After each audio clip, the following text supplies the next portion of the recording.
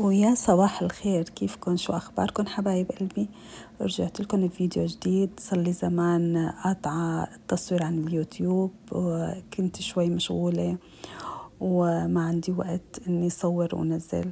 فاليوم قاعدة ما عندي شي بدي جهز مثل ما شايفين فنجان نسكافيه. فقلت لصور لو إنه مقطع جديد حتى رجع نشط اليوتيوب عندي.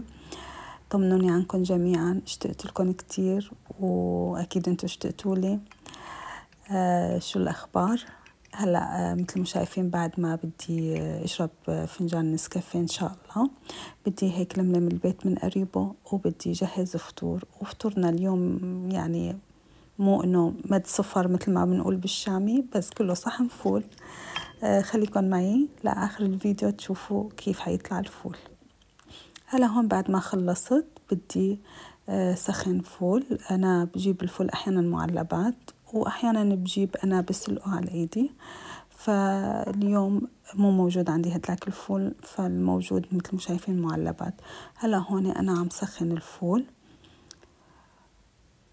وطبعا أنا يعني مجهزة كل شي مجهزة الثوم وفارمة بندورة وبقدونس وفارمة كمان بصل أخضر. هلا هون بدي زبط الخلطة اللي بدي اسكبها فوق الفول. هلا بضيف على الثوم مرقة الفول على حسب الرغبة طبعا. هي حطيت قريب ال... هي كبجاية بتجي صغيرة قريب الكبجايتين الصغار.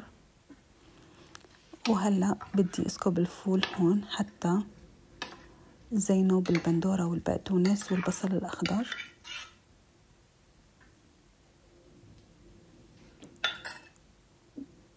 وهلأ بدي زبط الخلطة هون بدي أضيف الليمون. وأكيد بدي أحط الملح طبعا حسب الرغبة الملح.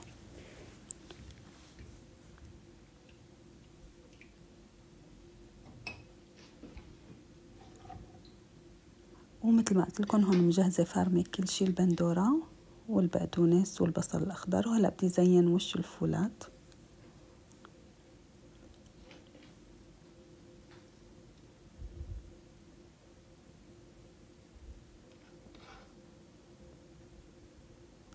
وهيك صار جاهز الصحن. وهلا بدي ضيف الخلطة اللي شفتوها إني جهزتها. طبعا هون حطيت لها زيت وهلا بدي وزعها فوق الفولات.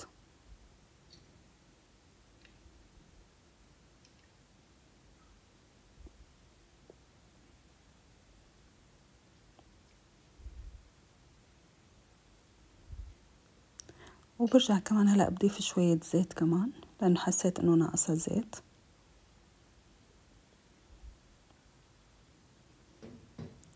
وشوية كمون كمان مشان ما يعمل نفخة الفول.